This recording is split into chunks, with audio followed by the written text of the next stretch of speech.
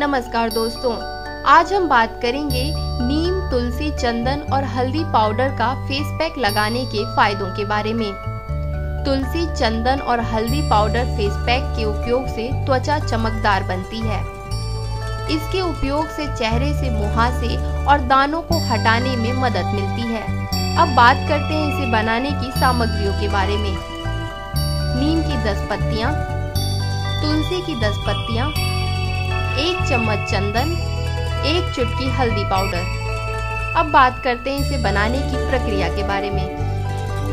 नीम और तुलसी की पत्तियों को पीसकर या बाज़ार से इनका पाउडर खरीद कर लेप बनाएँ। अब इस लेप में चंदन और हल्दी मिलाएँ और चेहरे पर अच्छे से लगा लें। 30 मिनट तक लेप को लगाए रखने के बाद सादे पानी से धो दें। इसी तरह और अधिक ब्यूटी सब्सक्राइब करना ना भूलें।